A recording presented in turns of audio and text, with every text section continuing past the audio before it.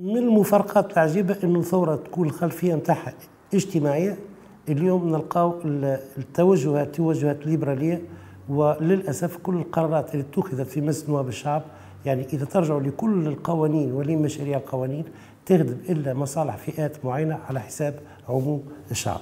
إذا نرجع لكل القوانين سواء آه، قروض سواء ديون سواء آه، بالنسبة للجباية سواء بالنسبة لكل المسائل هنالك توجهات يعني وحتى توجهات قدمنا إحنا قراءة نقدية لميزانية 2016 للأسف الخلفية الاجتماعية غايبة في كل هذه التوجهات. المصادقة على الدستور في جانفي 2014 كنا نعتقد أن وضعية حقوق الإنسان باش تتحسن بطريقة ملحوظة في تونس خاصة أن الدستور هذا كانت فيه العديد من الفصول اللي تأكد على حقوق الإنسان في معناها يعني العام وال يونيفرسال يعني و لكن للأسف معناتها بعد آه، تقريبا آه، يعني عامين على آه، المصادقة على الدستور مازالت فما العديد من الثغرات في القانون التونسي وعدم مطابقة ما بين القانون والدستور.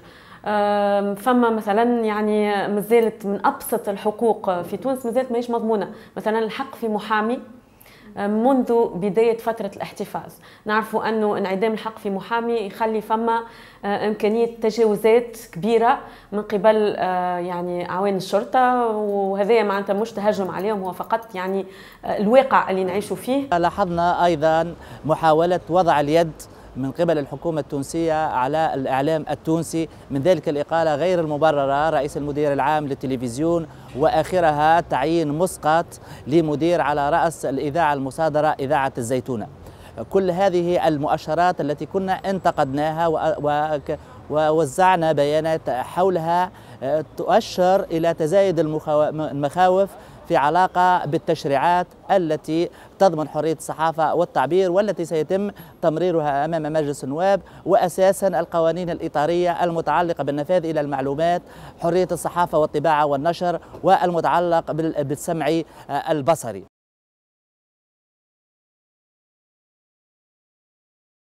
اليوم عندنا أكثر من مئة ألف شاب ينقطعوا سنويا يغادروا تلقائيا مقاعد الدراسة ال collège وال lycée. اليوم الشباب هذوما الانحدار نتاعهم يا إما من المناطق المهمشه أو من الاحياء الشعبيه حول تونس العاصمة. اليوم يا إما بيئة favorable لل recrutement بالنسبة للسلفيين أو مشروع آه، مهاجر في إطار هجرة غير منظمة أو عندك ال commerce parallèle أو عندك الانحراف أو إلى آخره. الشباب الكل كاين بطاله في القهوه في الحياة الشعبية وكذا أول فرصة ليه باش يحرق. أول مناسبة ليه. برا احكي له أنت على إنعكاسات اليوم السياسات الهجرية السياسات الأوروبية وانعكاسات العمليات الأخيرة الإرهابية اللي وقعت في باريس. وراو الأوروبيين تو متشدين أكثر. و Frontex والمراقبة وكذا وكذا كذا كلنا يعني له شيء. يعني له حاجة برك أول مناسبة ليه باش يحرق لأنه الواقع الاقتصادي والاجتماعي هو اللي يدفع. واليوم تشوفوا أنتم في جميع المستويات تغير موازين القوى. يعني في مستوى الإعلامي في مستوى المالي في المستوى السياسي في المستوى الثقافي في المستوى ورجوع في المستوى الأمني ورجوع يعني الماكينة القديمة إلى جميع المجالات وجميع المستويات. اليوم الحقوقيين أصبحوا في قفص الاتهام. معناتها يلزمنا كأن نثبت براءتنا. ثم خطاب أصبح يتداولوا تداولوا وسائل الإعلام. يقولوا هذايا شفناه بعد الهجمات الأخيرة. معناتها اول آه، يعني شيء قالوه في وسائل الإعلام هو أنه ما يلزمناش نحترموا حقوق الإنسان ويزينا من الخطاب هذايا تاع الحقوقيين. هما اللي هزونا للهاوية.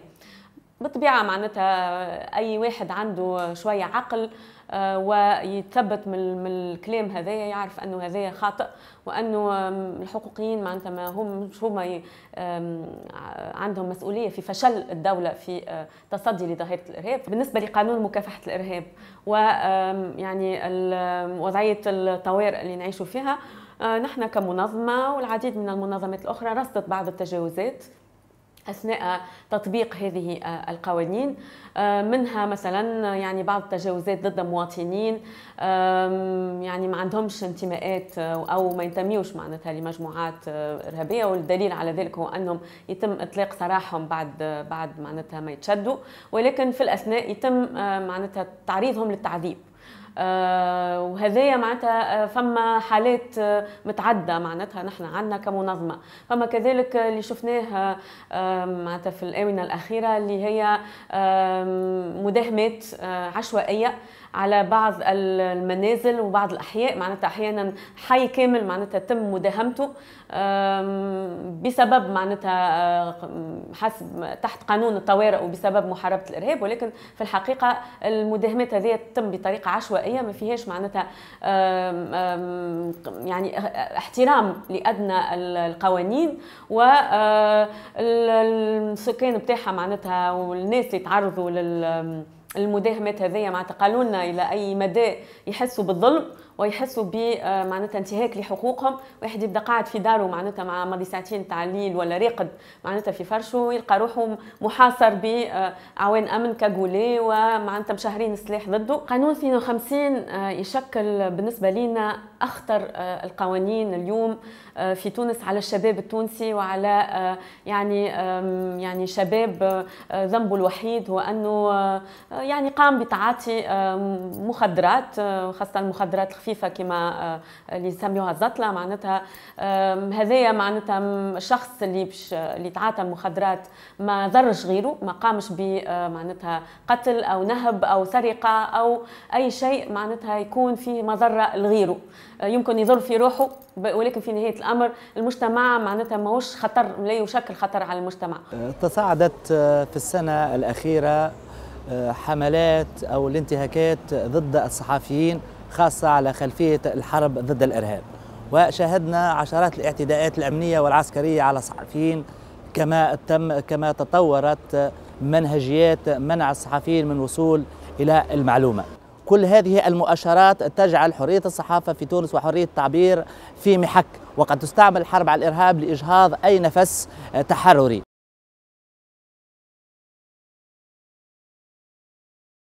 كنا ما نجمناش نخلق ميزان قوى لتغيير الأوضاع في تونس. الملف الاجتماعي هو اللي هز بن عليه هذا اللي ما نجموش يستوعبوه اليوم الناس اللي في السلطة.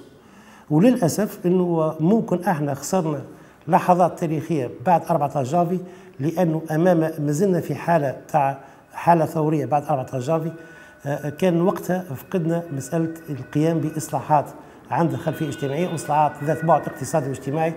خسرنا اللحظة التاريخية وكذلك خسرنا اللحظة التاريخية من أجل العدالة الانتقالية بعد 14 جانفي. وإحنا مطروح علينا كمجتمع مدني وحتى مطروح على أحزاب المعارضة يعني مراجعة اليوم قراءتنا مراجعة آليات عملنا مراجعة آه، فهمنا زاد في إطار في الواقع هذايا آه، لأنه اليوم نقول لك بصدق معناها آه، موازين القوى قاعدة تغير للفئات اللي معاديه لمطالب الثوره ولشعارات الثوره هذايا معناتها اللي حب اللي منظمات حقوق الإنسان معناتها تأكد عليه واللي آه، السلطات إلى حد اليوم زالت ما فهمتش آه، أنه آه، هذايا في صالحها هو أنه القانون اولا يحترم أنه إذا كان فما تجاوزات يتم ردعها بطريقة صارمة وأنه آه، الأشخاص معناتها آه، أو أعوان الأمن اللي هما مش الكلهم راهو معناتها إذا ماهوش تهجم مش الكلهم هما آه، بطبيعة يقوموا بالتجاوزات ولكن فما جزء منهم يقوم بالتجاوزات حتى نحميوا المؤسسة الأمنية يلزمنا الأشخاص اللي تقوم بالتجاوزات يكون فما معناتها مساءلة لها سواء كان مساءلة داخلية عن طريق يعني تفقدية وعن طريق معناتها آه، بعض الإجراءات الداخلية أو عن طريق القضاء عندما تكون التجاوزات آه، يعني تجاوزات خطيرة كما التعذيب. هذا معناتها شيء ما يلزمناش نتسامحوا معه ولا للأسف إلى حد الآن فما تبرير يعني لهذه التجاوزات خاصة التعذيب. فما آلاف الشباب اللي اليوم في مازالت في الحبوسات في تونس على أساس القانون هذايا معناتها ديرنيغمون يعني فما آه، بعض الفنانين معناتها المعروفين في تونس اللي تم القبض عليهم من أجل معناتها حسب على أساس قانون 52 آه، القانون هذا يلزم يتبدل. إلى حد الآن شفنا أنه كانت فما يعني وعود آه، انتخابية حتى من قبل رئيس يعني رئيس الجمهورية الحالي بتغيير القانون ولكن إلى حد الآن ما شفناش تغيير القانون. المشروع اللي قدمته وزارة العدل كذلك فيه مازال مازال يعني يلزم يتحسن لأنه أبقى على عقوبة السجن من أجل تعاطي المخدرات. وهذا معناتها حسب رأينا ما يرتقيش للمطالب معناتها تاع المجتمع المدني في تغيير هذا القانون بطريقة جذرية. هو تقريبا عملية رصد الانتهاكات ضد الصحفيين ومراقبة الفضاء العام آه، تقريبا الإحصائيات كانت آه، متساوية ومتقاربة ومتجانسة طيلة السنوات الماضية وتقريبا كل الحكومات المتعاقبة استهدفت الإعلام التونسي ولكن رغم أن التقييم السوداوي لطيلة المراحل الماضية آه، كان حقيقة سوداويا بأتم معنى الكلمة ولكن ما زالنا على قناعة أنه ما تحقق من مكاسب وما فرضته الثورة التونسية من فرض ثقافة حرية التعبير وحرية الإعلام عند كل التونسيين آه، تجعلنا نرى المستقبل بكل أمل. كما كررت النقابة أكثر من مرة هذا لن يمنعها أن تكون يدها مفتوحة أمام الدولة التونسية من أجل شراكة فعلية بين المجتمع المدني وخاصة النقابة الوطنية للصحفيين وكل الهيئات العمومية من أجل تركيز حرية الصحافة وحرية التعبير بشكل نهائي سواء على مستوى الممارسة أو على مستوى القوانين من أجل حماية الانتقال الديمقراطي ومن أجل, من أجل دولة مدنية ديمقراطية.